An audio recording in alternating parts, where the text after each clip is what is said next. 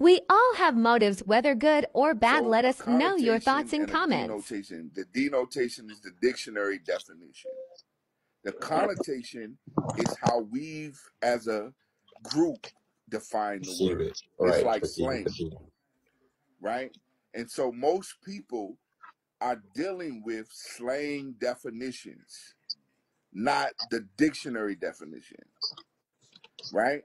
And so if you get into a conversation, the disagreement is usually over the connotation.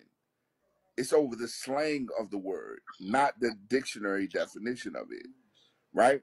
Because a motive is literally something that you do for a reason that's usually hidden. That's the definition of the word, Right. right? So if you hide your motives or your reason for doing something, that could be very negative.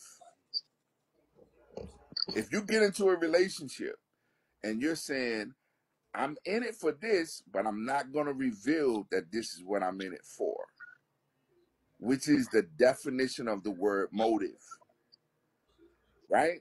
But we were dealing with the connotation of the word, where people were saying a motive could be, I want my back rubbed. That's not the de- that's not the dictionary definition of that word. Ain't nobody gonna keep that a secret. You, you see what I'm saying? So we we Mhm. went in the back and forth over the slang, the connotation, and that's when I said, well, okay, people are saying they're right ab- about defining this when they're ignoring it, what Webster says about it, right? Because it's literally, if you go to Webster right now, it's literally going to imply that not only is that you're doing something for a reason, but Mm-hmm. generally that reason is hidden. Mm-hmm. And I don't like that. I don't like for people to come in my life and their agenda is hidden from me. I don't like that personally, right? Yeah. So when you say, so when you uh-huh. say Mac, when- hold on, hold on, Ms. V. You know, I know I get your live, I rock with you. But so when you say that people don't go in with motives in a relationship, is that what you said? No, I'm saying they do, and I don't like it. Oh, absolutely. Yeah, Everybody got a I, I motive in don't a I don't relationship. like it personally. Me me personally, I've taken when I approach a woman, cause see, I did it myself. I married a woman because I wanted a family. That was a motive. I did not like her. I was not attracted to her, and she wasn't my pick.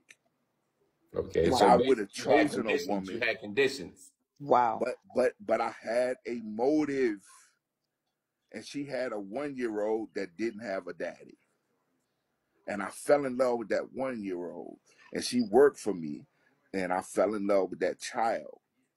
I did not fall in love with her. You see what I'm saying?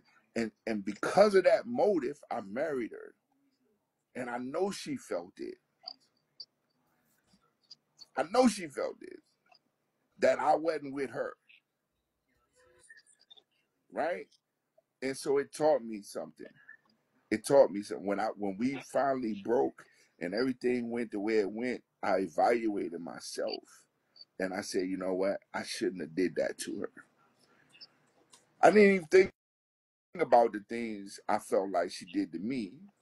I thought about all of the things I felt like I did to her. So I don't like motives because I've used them against people. Right. So mm-hmm. now now I try to go into it like, listen, I have purpose and I, I have a direction that I believe God is pointing me into. Correct. If you feel okay, okay, Land.